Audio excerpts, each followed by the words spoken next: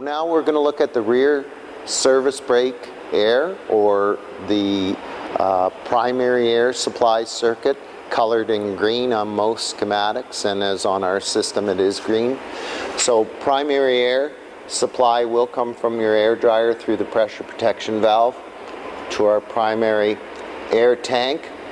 One line will go out to supply the relay valve for the rear brakes. The other line will come up to supply the treadle valve with air pressure. As we apply the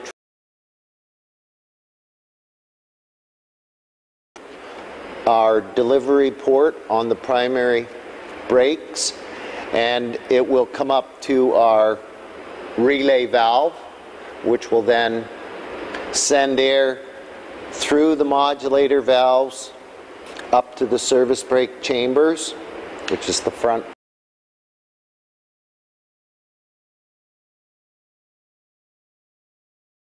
Drums the shoes out into the drums and slows the vehicle.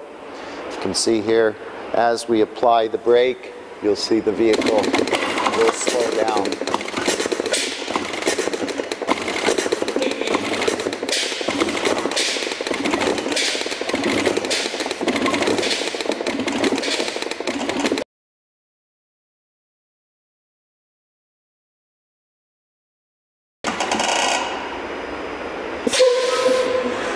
That was an ABS uh, event. Uh, if you put the brakes on and one wheel slows down more quickly than the other, the ECU will then pulse the air to the service brake chambers, and that's what you got a chance to see there. It's about uh, seven times a second it pulses the air on and off, allowing the wheel to continue rolling